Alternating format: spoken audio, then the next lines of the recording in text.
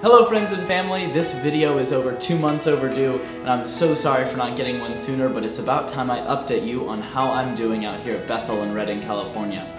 There are a few things that have been changing in the new year, the first being I shaved my beard, so happy new year to everyone. Hope it started out incredibly well. I have a feeling that this year is actually going to be one of the greatest years in the history of the church.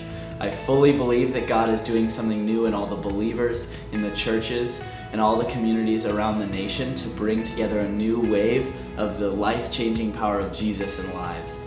As some of you know from my last video, I've been fundraising for Azusa Now, a one-day crusade covering the entire city of Los Angeles and the week before evangelizing in the streets. It's going to be a great event and I have successfully fundraised the entire trip. So thank you to each and every one of you who gave into the trip, and I can't wait to tell amazing testimonies of what happens on that trip.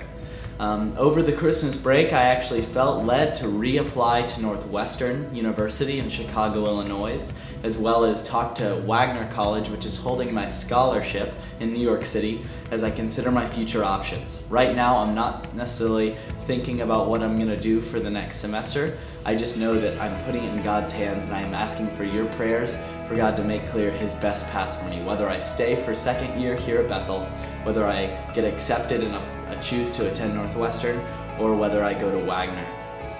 All are great options, but I'd love your prayers. Thirdly, I'd actually like to talk about something cool that I've been doing the past month which prohibited me from sending in a video blog for you guys. And that's that I went on a Daniel fast. For 21 days, I ate only fruits and vegetables and did a ton of prayer, ton of worship, ton of staying in the Word um, to prepare and press into this new year to say, God, this new year is yours. Um, it was, I've never fasted before. I always thought it was something only really religious people do.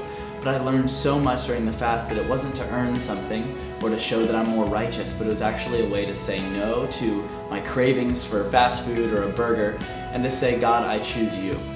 Uh, I realized that so often I run to food and I run to stuff uh, that isn't God when I'm dealing with something rather than going straight to the Lord with something I'm dealing with. So God's been teaching me so much in this new year and I can't wait in the next few weeks to keep a few more video blogs coming out to really update you on more specifics of what I've been learning at Bethel. My prayer for everyone watching this right now is that God will touch you in a new way, that He will open your eyes to see how He's going to change this new year for you to make it even better than any year in your history.